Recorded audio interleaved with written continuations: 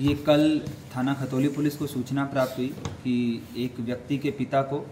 धोखे से एक महिला ने अपने घर बुलाया है चिनाई का कार्य करने के लिए और फिर उसके बाद में उनको वहाँ पे बंधक बना रखा है। और उनको ये बताया जा रहा है कि आपके पिता का हमने अश्लील वीडियो बना लिया है आपत्तिजनक स्थिति में और अगर आप हमको पैसा नहीं ला के दोगे तो हम इसको वायरल करा देंगे और आपको मुकदमे में भी फंसा देंगे अगर आप कहीं इसकी शिकायत करोगे तो।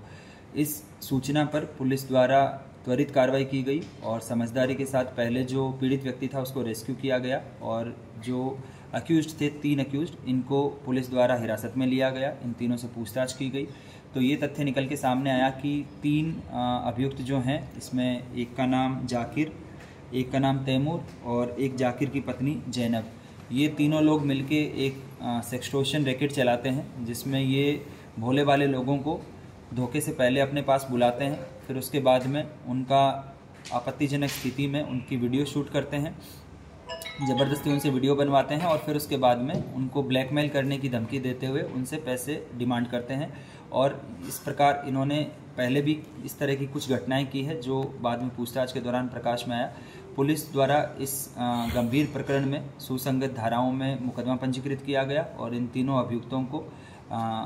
कानूनन तरीके से हिरासत में लेके इनको मान्य लाने के लिए समक्ष प्रस्तुत किया जा रहा है और मैं आप लोगों के माध्यम से पब्लिक से ये अपील करना चाहूँगा कि अगर इस तरह कोई अनजान आदमी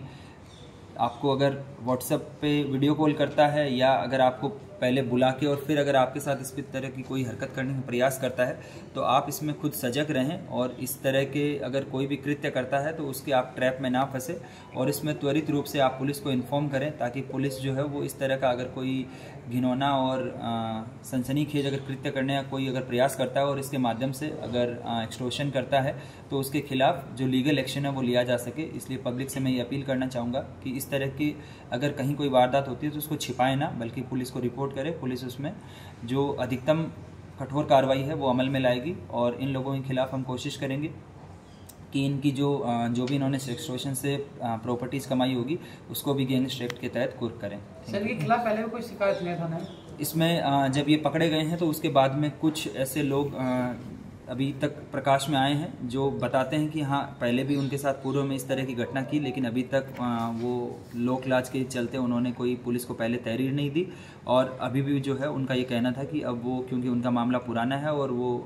उन्होंने पैसा जो दिया था, वो उनका वापस हो गया। इसलिए वो कोई